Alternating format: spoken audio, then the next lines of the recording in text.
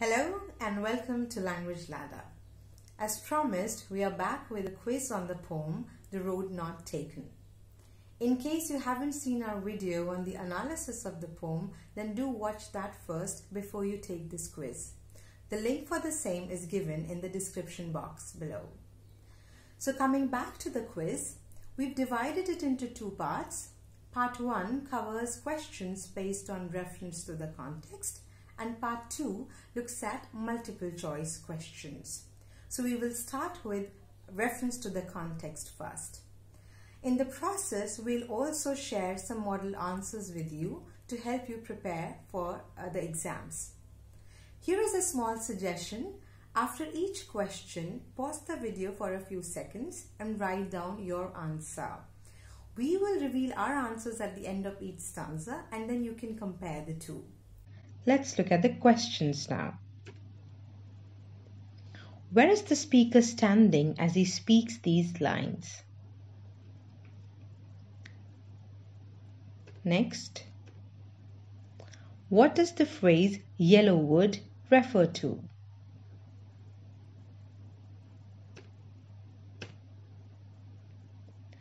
Why was the traveler sorry?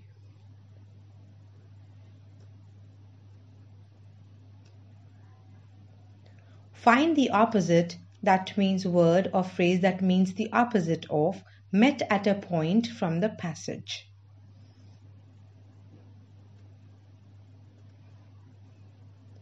Why can't he travel both the roads? Now let's look at the answers of these. Where is the speaker standing as he speaks these lines? The speaker is standing at a fork in the road which he comes across while traveling through a forest. You might have chosen a different set of words as long as they mean this or as long as uh, whatever your interpretation of the poem is is backed by examples from the poem, it is acceptable.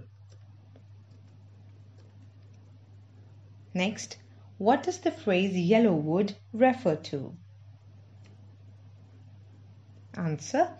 It refers to the forest in the season of autumn when the leaves change colors and look yellow, golden, or orange. Next question. Why was the traveler sorry? The speaker or the traveler regretted or felt sorry about the fact that, being a solo traveler, he could not travel both the roads. Next question. Find the opposite of met at a point from the passage. And the answer is diverged.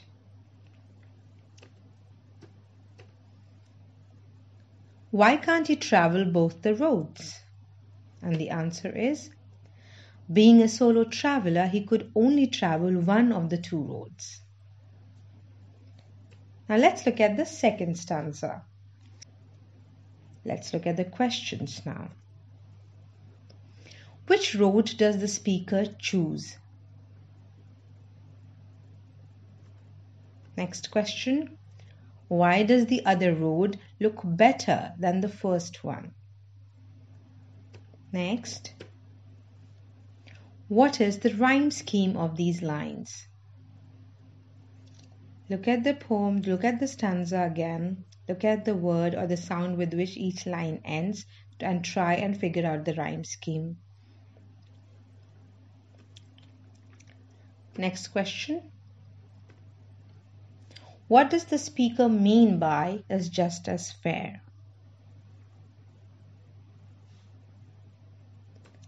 Next. What does the phrase wanted wear refer to?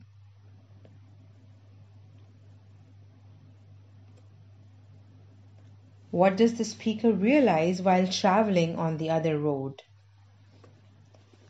Try reading the last two lines of this stanza and see if you can figure out the answer from there.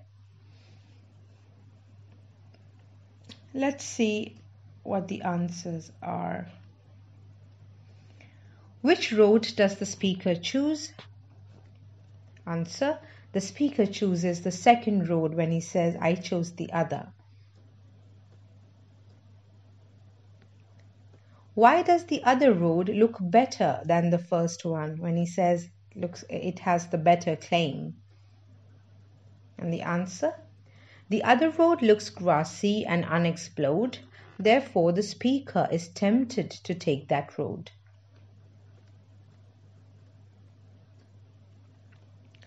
What is the rhyme scheme of these lines? We've already discussed this at length in our uh, video uh, with the analysis of the poem. The answer is A, B, A, A, B. What does, what does the speaker mean by as just as fair? So here the, uh, the speaker tries to justify his choice of taking the other road. Perhaps he wants to suggest that his decision of taking the second road is as right as the first one.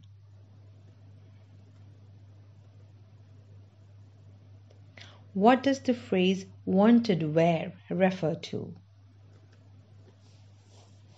The speaker uses this phrase to describe the other road. The other road looks grassy and unexplored, therefore, it looks fresh and is not worn out by the footsteps of the travelers.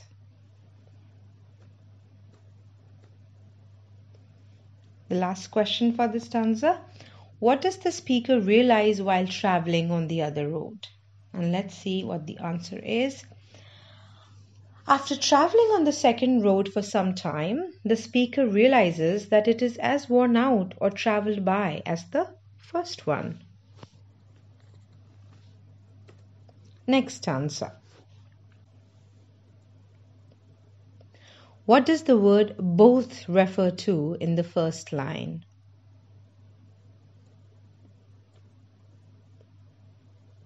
How does the two roads appear that morning? Next question. Why does the speaker leave the first road? Next. What is the speaker doubtful about? Check out the last two lines of this stanza again and see if you can figure out the answer.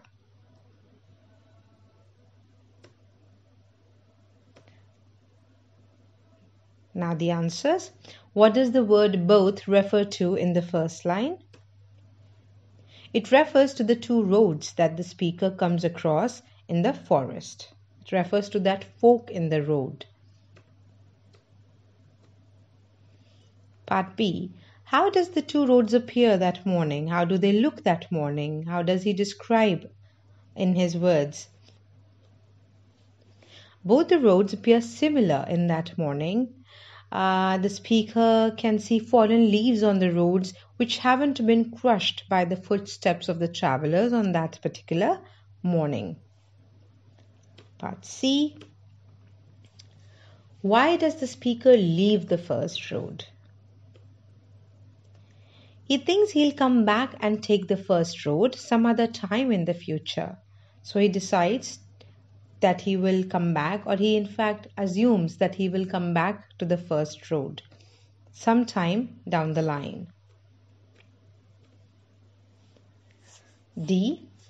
What is the speaker doubtful about? The speaker doubts his coming back to this walk in the road and take the first one, the one that he has left. He realizes that one decision leads to another, and it will take him so far in life that it would be difficult for him to come back. So he doubts that he will ever come back to this same point in the road and take the first one. Next stanza questions. What will the speaker tell with a sigh? Next question. What made the difference in the speaker's line? We discussed this point as well at length in the video on the analysis of the poem. What does the word road represent in the poem? A very important question.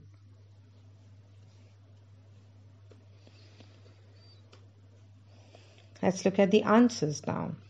What will the speaker tell with a sigh? He will tell people how he came across a fork in the road and he chose the one less traveled by. Perhaps he will talk about facing a difficult choice in life and how he made that choice. Part B What made the difference in the speaker's life? So, again, the decision of choosing the road that was unexplored, that is, less traveled by, made all the difference in his life. Part C What does the word road represent in the poem? In this poem, the word road been, has been used as a metaphor for all the difficult choices we face in life. Thank you. Hope you enjoyed the quiz and could answer most of the questions. If you found this video useful, then do subscribe to our channel to get more updates and don't miss the second part of the quiz, which is multiple choice questions.